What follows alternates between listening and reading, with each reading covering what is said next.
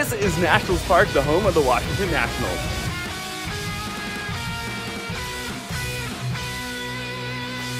What's going on, concession critics? I'm Harrison Taylor, and welcome back to another episode of Concession Critics Ballpark Bites. Today, we're here at Nationals Park in the nation's capital, Washington, D.C., with a capacity of 41,373 fans. The ballpark opened on March 30th, 2008, with the Nationals beating the Braves 3 2. The venue was built to become the newly relocated Montreal Expos' permanent home.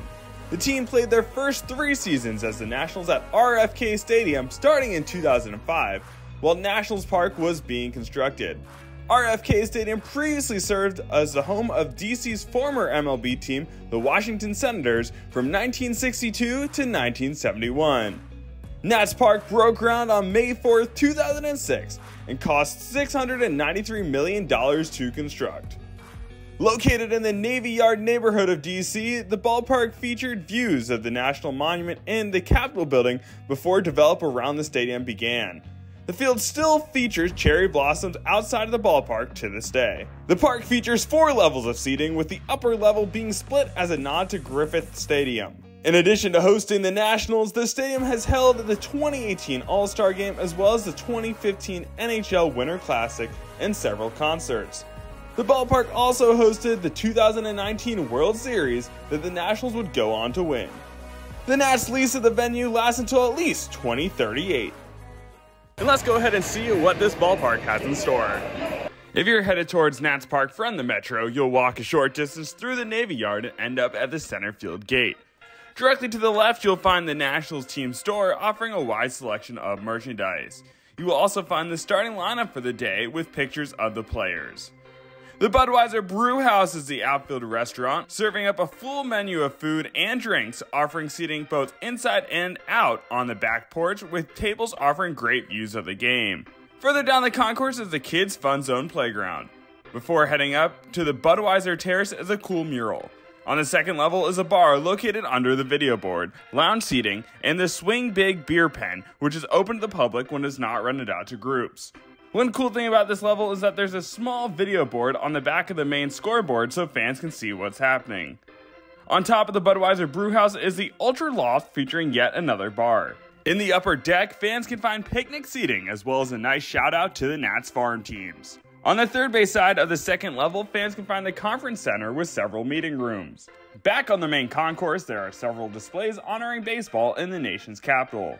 On the rooftops, there appears to be an edible garden, which I assume is used in some of the concessions. If you enjoy exploring stadiums in depth like this one, be sure to subscribe and click the bell so you don't miss out on any future content. All right, we are here with the crab cake sandwich from the Chesapeake Bay Crab Cake Company, and look at that right there. That thing is massive. We'll get back to the crab cake in just a second, but first let's see what else is cooking here at Nats Park. Taste of the Majors offers a new hot dog inspired by the cuisine of the visiting team each series. You never know what might pop up. Steak of the Union has the chimichurri tri-tip sandwich, served with a horseradish sauce, arugula, and charred red peppers for $19.99. CU Tater serves backyard barbecue tots with pulled chicken, mac and cheese, crispy onions, and barbecue sauce for $14.99. Local favorites are prevalent throughout the ballpark, Ben's Chili Bowl serves a half smoke all the way, a beef and sausage half smoke with brown chili, mustard, and onions. Capital City Mambo sauce has chicken nachos and pulled pork sandwiches with the iconic sauce.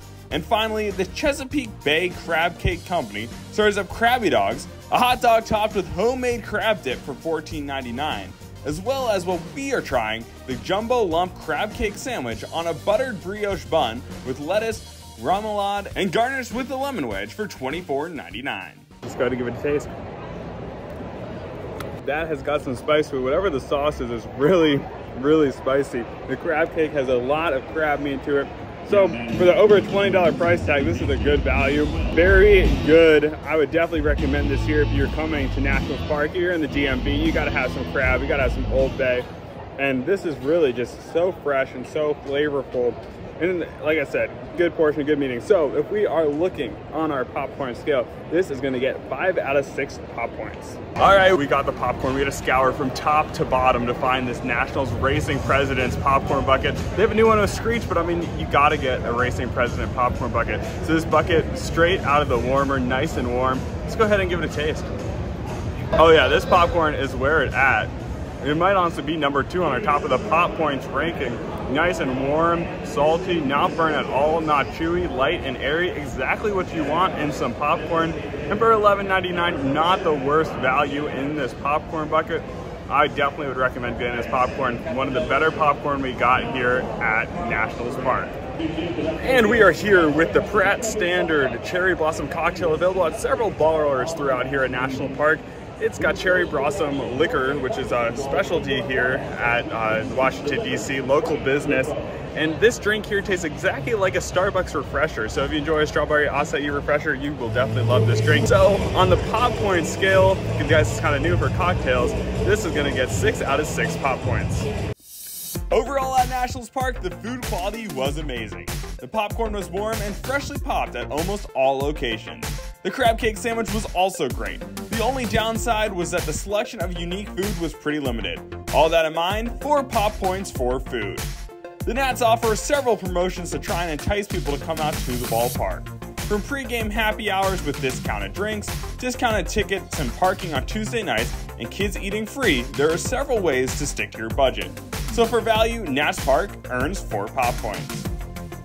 For fun, the game presentation secures a big dub. Every half inning, there is some sort of promotion to keep fans engaged. Of course, the Geico President's Race is a great addition. I'm glad they have returned to form with the Mount Rushmore core four of George, Tom, Abe, and Teddy competing every Nats home game. You can meet the presidents pregame in the Centerfield Plaza, which is a nice touch. So for fun, the stadium earns 5 pop points. The main concourse level could use a more exciting addition to really enhance the experience. It feels pretty much unchanged since it opened in 2008. The second level offers numerous cool areas to stand and watch the game. The staff was very friendly throughout the whole night, so for fan experience, Nats Park gets 4 pop points. Add it all up, and Nationals Park earns an overall stadium score of 8.5 out of 10, or bathed in butter. Well, you are the score, and that's the show. Thank you for joining me here at Nationals Park. Let me know what you think of the ballpark down below in the comments, and be sure to subscribe for even more concession critics.